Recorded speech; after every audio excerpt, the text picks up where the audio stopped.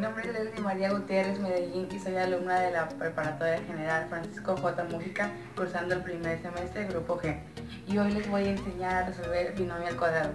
Para resolver este tipo de problemas debemos de tomar en cuenta la regla, que es el cuadrado del primer término más dos veces el primero por el segundo más el cuadrado del segundo. Y esto se reserva así. El cuadrado del primer término, que es 3m, 3m cuadrado más dos veces el primero por el segundo, que sería más 2 el primero por el segundo. Más el cuadrado del segundo, que sería 2, 2 al cuadrado. Para resolver esto se, se va a aplicar la regla, que sería 3 por 3 es igual a 9 m por m cuadrada sería m cuadrada.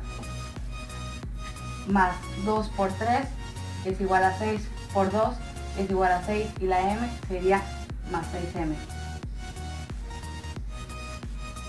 Y 2 por 2 es igual a 4 más 4.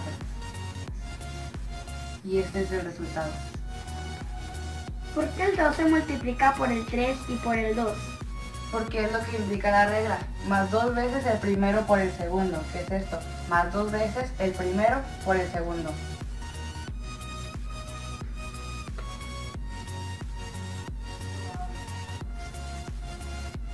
Prácticamente, ¿en dónde es m cuadrada por m cuadrada?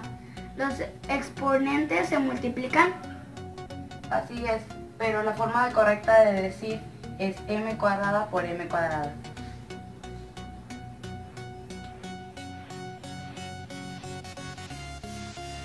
Aquí tenemos un ejemplo como el que les acabo de enseñar, también se puede resolver igual y es con la misma regla.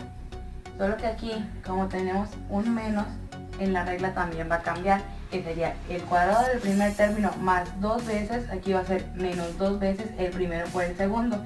Y en el resultado igual va a quedar el menos, que es 2 por 4, 8 por 2, 16, x por y es xy y el menos, queda igual. Y este es el resultado. Cuando el problema tiene un menos en la regla, igual cambia.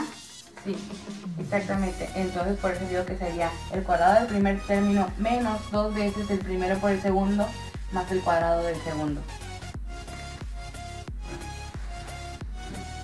Siempre van a